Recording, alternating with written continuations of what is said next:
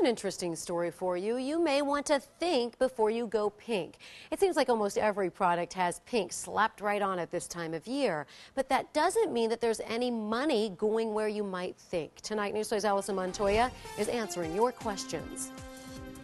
From tennis balls to batteries and even this plush rose, a lot of companies are trying to find a cure to beat breast cancer. But you may want to check out the fine print to know exactly where your money's going. Throughout this Target store, we found dozens of items bringing attention to breast cancer awareness and research. However, Amy Wagner with the Susan G. Komen Foundation of Greater Cincinnati says not all pink ribbons are created equal. If there's a product that has pink on it, you're more likely to pick it up.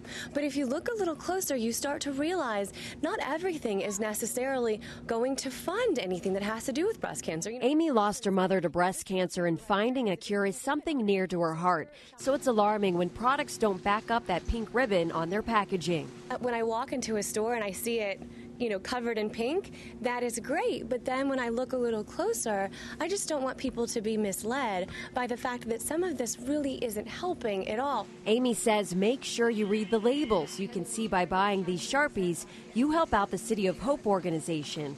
These mechanical pencils go towards Susan G. Komen, and these office items spell out that 10 cents of the purchase price goes towards breastcancer.org. But what if you only see a pink ribbon on the product? Jump online and see what that organization does. See how much of the proceeds actually goes to something. While at Target, we brought this to one shopper's attention. I think it's weird. It's totally crazy. How are you going to put a ribbon on there like you're supporting it and not actually support it? She's making sure to pass this information along to friends, family, and even strangers on the web. There, there may be a Facebook page about it before the end of the day, honestly. So remember, think before you buy pink. In Florence, I'm Allison Montoya, News 5.